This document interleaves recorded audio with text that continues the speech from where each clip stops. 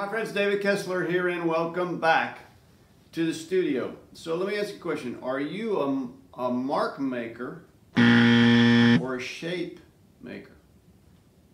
Now, anybody that's followed you know, my post for any amount of time knows I really dislike, greatly dislike this term, mark making.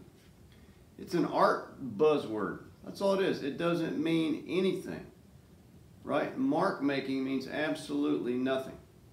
And if you're basing your paintings on mark making, as opposed to making shapes that overlap and interlock with each other, then you might want to change what you're doing because shapes are the basis of making a painting, not mark making.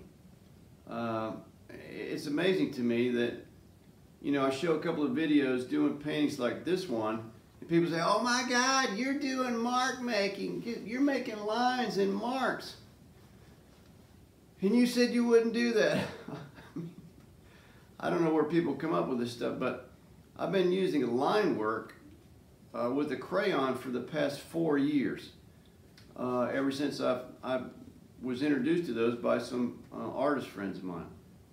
I've been making line work with a scraping tool like this for 30 years. You know, lines are shapes to me. Lines and shapes really are the same thing. I mean, it's just another shape, a linear shape. Now, I typically have not made, since I've painted with watercolor, I have not made linear shapes or line work with a brush. I just typically don't do that. So I was thrilled to find these crayons so I could use those to put line work in because I don't like using the brush for line work. I'm not really good at it. I'm really good at it with watercolor, but not so much with acrylic, so I just don't do it.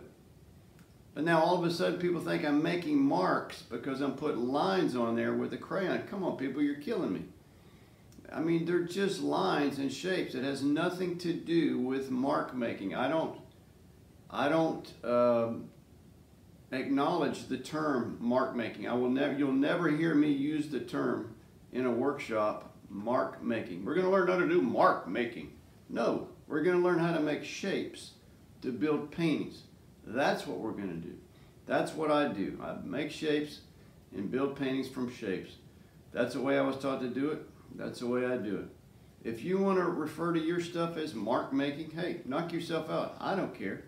But at least learn term shapes, what they mean, and how to implement those in your paintings.